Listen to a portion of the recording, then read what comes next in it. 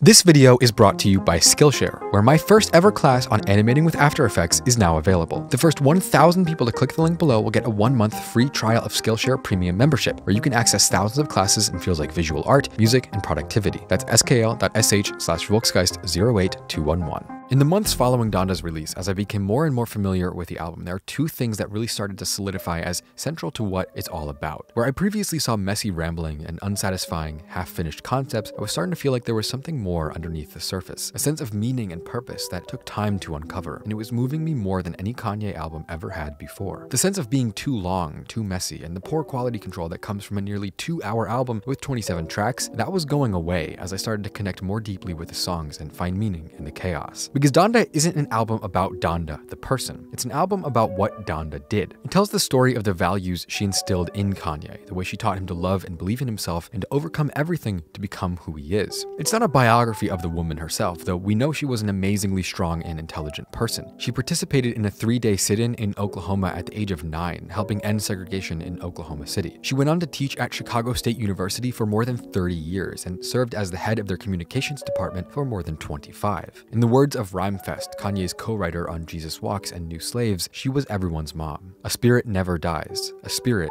lasts forever. And we've already known for years how important Kanye's mom has always been in his life and his music. Two of the most emotional songs he's ever put to record, Hey Mama and Coldest Winter, tell the story of his love and appreciation for his mother, and subsequently the pain he felt when he lost her. But when Donda died just a few years later following complications from a cosmetic surgery, Kanye immediately blamed himself. After all, he had paid for the operations. In his words, if I had never moved to LA, she'd be alive. And you can see this pain start to change him. I mean, we all know the story. Kanye's villain arc basically began began the day his mother died, and we've been waiting for it to end ever since. Look at this video of him performing Hey Mama in 2013. He physically can't finish the song. Yeah, his face is hidden by the mask, but look, I can tell you right now, this is the pain of a broken man. And this is what it looks like to be haunted by your past and overcome with guilt and grief. And Kanye went through that for years. I think it's fair to say Kanye never completely recovered from his mother's death. I think he was so angry at himself, so regretful and bitter, that much of his music following Donda's passing is, by and large, fueled by self-hatred. 808s and Heartbreak, Dark Dark Twisted Fantasy, Yeezus, even Pablo, he hadn't just lost his mom, he had lost a part of himself, and I don't think the shift in the sound of his music was a coincidence. I think we can all agree that in many ways, Kanye lost his spark. He lost his happiness. And Dark Twisted Fantasy, Yeezus, and Pablo, they're amazing albums, masterpieces, cinematic magnum opuses back to back, but at the same time, these albums are fractured and dark. In many ways, they're broken. They're deeply disconnected from what makes people happy love, family, friendship. Kanye was cut off from humanity. In 2015, Kanye released only one with Paul McCartney, the first sign of a new era. In his words, he doesn't remember recording it in the studio and ultimately came to the conclusion that his mother's spirit was speaking through him when he recorded the track. I mean, it's up to the listeners if we want to believe in a more supernatural interpretation of the song, but at the very least, I think we can all agree it's a beautiful, peaceful track that conveys more love and peace than anything Kanye had made in many years before that. And ever since then, Kanye's been on a different road. From his exploration of mental health, family, fatherhood, and marriage on Ye, to the almost spiritual look at self-acceptance and inner peace on Kids See Ghosts, to the straight religious religious worship of Jesus as king, I mean, it doesn't get more turning a new leaf than that. And I remember the entire time, the whole music community was clowning on Kanye for this new chapter. People were calling him washed up or stupid or saying he was losing his touch, but ultimately I think we were missing the point all along. Kanye was learning how to love himself again. He was rediscovering his sense of purpose and his love of life that had been missing from his music for many years. As I was becoming more and more familiar with Donda, the album's true power began to reveal itself. I started to realize what Donda really stood for, a deeply introspective look into Kanye's mind as he reached the final hurdle of self acceptance and forgiveness. And I've come to see it as Kanye's most true and beautiful album yet.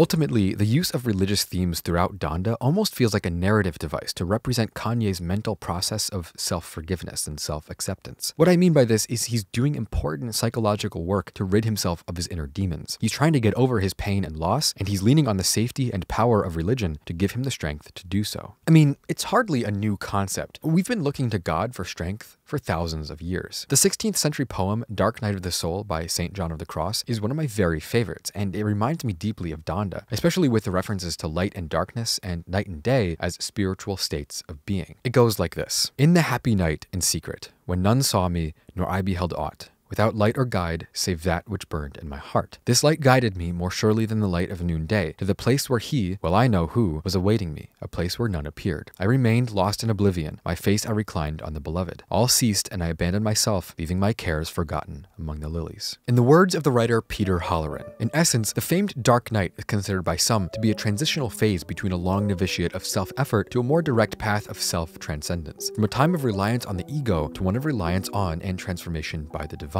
from belief in a personal self to knowledge of its unreality, from identification with the ego to identification with the higher self, and the very self of conscious being that you are, and from the feeling of the soul being somehow inside the body to that of the body also being inside of the greater soul. The Dark Night brings a thorough purgation where the personal will passes through existential hopelessness and increasingly becomes sacrificed to the divine will. It produces a complete metamorphosis wherein one's conception of self and world are literally turned inside out. Again from Peter Halloran, the revelations of the dark night of the soul are essentially what masters mean when they say that self-knowledge precedes God-knowledge. Teresa of Avila held that the first mansion of spirituality was true self-knowledge. We see what we are really made of in all of our human misery, emptiness, and insufficiency, in order to be prepared to then see the awesome grandeur and mercy of God, who is more the life of the soul than the soul is the life of the body. We are, in essence, purified of the conceit of the Gnostics, which Irenaeus said long ago was that they seek to become divine before they have become human.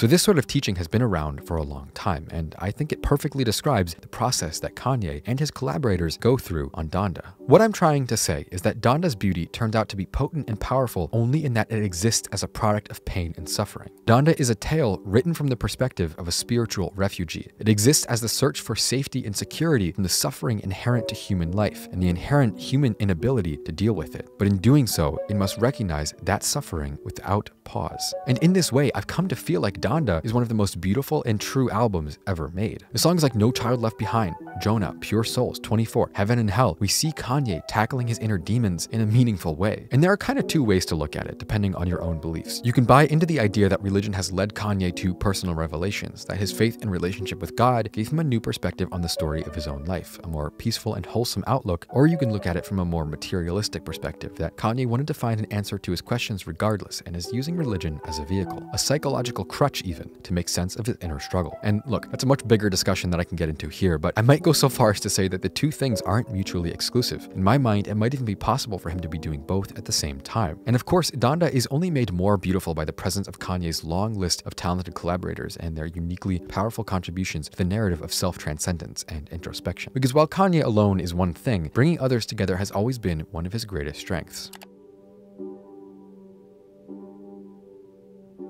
You only have to listen to Donda once to realize that the record has an all-star cast and crew, and maybe I'm saying this as someone who's super Gen Z, but it's 100% my favorite guest list of any Kanye album ever. I mean, Carti, Fivio Foreign, Baby and Durk, The Weeknd, Vory, Baby Keem, Travis, Yachty, Thugger, Don Toliver, Kid Cudi, Roddy Ricch, even Pop Smoke kind of. And the older generation has a lot of representation too. Conway the Machine, Westside Gunn, Jay Electronica, Jay-Z, Andre 3000. I mean, I know I'm leaving some people out, but damn, it's a very long list of guests. And in my mind, it may be the best album for I've ever heard, let alone from Kanye, but in all of music. There's something so consistently thoughtful and genuine about the writing from each and every single guest on Donda. In many cases, I've never heard them perform this well ever before in their careers. All of them pulled out so much energy, so much talent and focus that my mind was blown hearing these tracks for the first time. And even now, months later, the way these different features stand together as a cohesive body of work, despite coming from artists in every single corner of hip hop, it's mind blowing. To me, the central concept that ties these features together is simple. Each and every one of these artists, every single one of these people, just like Kanye, has a demon that they need to confront and overcome. And it's very hard for me to pick my favorite feature verse because they're all so powerful, but if I had to pick one in particular that speaks to me, it would be Baby's verse on Hurricane. I've always loved Lil Baby's writing. I think he's one of the best rappers out there, but there's just something so true and powerful about his verse on Donda. It goes the extra mile to address his inner thoughts and feelings in an open, honest way. He talks about feeling alone in his life, as if at the same time fame has changed his situation for the better, it's also been something of a curse with an isolating effect. Ultimately, what hits the hardest is the line about starting over. Early morning brainstorming, normally I can't sleep in. Sometimes I just want to restart, but it all depends. The sense of loneliness is palpable. You can feel how much this verse means to him as he grapples with the idea that success doesn't fix suffering. In fact, the higher you rise, it seems unavoidable that yet more challenges will rise to meet you. It's the same for Fivio's inspiring story of coming from nothing on Off the Grid as he explores what it means to keep yourself safe in the wake of unprecedented success. And Jonah is yet another deeply moving song that finds Vory exploring the pain of isolation as he questions why he's had to go through his trials trials and fight his demons all by himself. By and large, the feature verses on Donda are a testament to the reality of the human condition. These feature verses deny the larger than life social status of musical artists in our culture today. There is no self aggrandizement, there is no flexing, there is nothing fake or untrue in their words. They're united in humility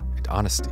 In the words of Andre 3000 on Life of the Party, Hey Miss Donda, you run into my mama, please tell her I said say something. I'm starting to believe ain't no such thing as heaven's trumpets. No after, over, this is it, done. If there's a heaven, you would think it'd let you speak to your son. And later, Miss Donda, you see my mama, tell her I'm lost. And most importantly of all, on God Breathed by Vory. Devil's talking to me, angels talking to me, but angels start to tell me it's okay to not feel okay. I know that you'd be proud if you were here today, but it's okay because I'm okay. It's in these moments that Donda's true meaning is revealed.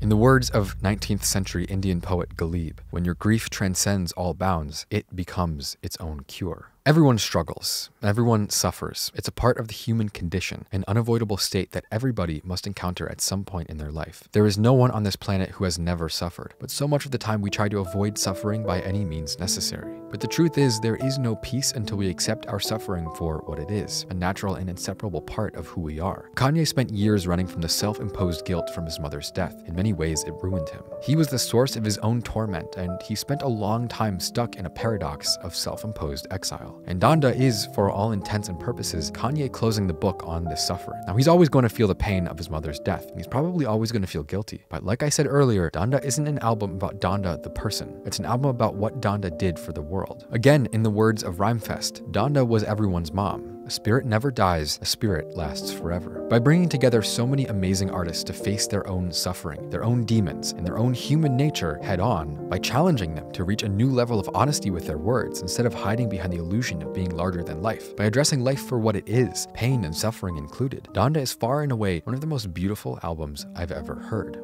In the 33rd verse of the 8th chapter of the book of Mark in the Bible, Jesus says to his disciples, Get behind me, Satan. You do not have in mind the concerns of God, but merely human concerns. To me, that is the message of Donda. Healing must be achieved by looking outside of oneself, as our human nature is insufficient to properly love and care for ourselves. As Kanye sings on Pure Souls, it ain't how it used to be. This is a new me, so get used to me. Devil, get behind me, I'm loose, I'm free. Father, Holy Spirit, let loose on me.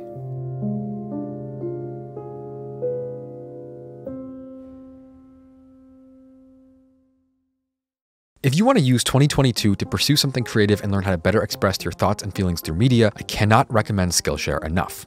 It's impossible to overstate how useful Skillshare can be. I use Skillshare all the time to help me brush up on my video editing and animation skills and learn new techniques, and I honestly can't recommend them enough. Skillshare offers meaningful membership. There are many different avenues and techniques to explore for each subject, real projects to create, and a great community of people on the site. Skillshare genuinely empowers people to pursue real creative growth and better themselves. Their lessons can help you stay inspired, express yourself, and introduce you to techniques you never could have imagined before. And they have tons of interesting topics covered by industry professionals from music production, audio engineering, motion graphics, design, video editing, and photography to business and much more. Plus, Skillshare has no ads and they're always launching new classes, including my own, where I teach my most basic, intermediate, and advanced techniques for making amazing 2D animations in After Effects. From mixing your own music to making crazy trap beats to animating in After Effects, Skillshare has something for everybody. Last but not least, a premium annual membership with Skillshare is extremely affordable at less than $10 a month. So if you want to join Skillshare and upgrade your skills, the first 1,000 people to click the link below will get a one month free trial to Skillshare, where you can check out my class on making amazing 2D animations in After Effects just like the ones I use in my videos for free. Again, that's skl.sh slash volksgeist 08211.